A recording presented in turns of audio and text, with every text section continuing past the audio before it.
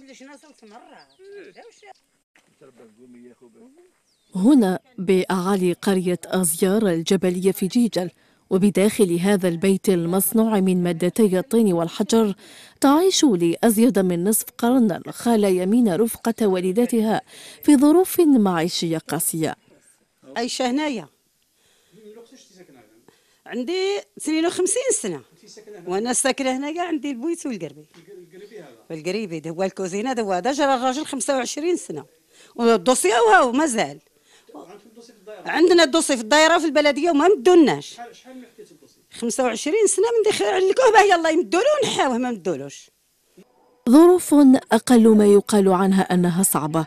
تواجهها الخالة يمينة بسبب وضعية هذا الكوخ الذي بات خطرا على حياتها وحياة والدتها.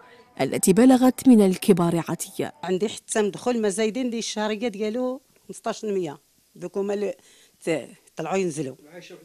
وحدي ما عندي لا ولادي لا والوالدي ما معايا هذا ما كان. هذا هو اللي عندي أنا. لو كان يدير نفسك تخرجي منها ما تقاليش أنا؟ ولو عطاوني يوم ما نخرج. لو عطاوني اللي هو حي خرجت. ماشي تسال داوك. ما- الغالب ما عندناش. ما عندناش بانين بنيو خطر عليك كيفاش بالك تكطر تكطر ال- السعداد لا النوز الشتا كل كل شيء حنا فيها. عايشة برا. برا.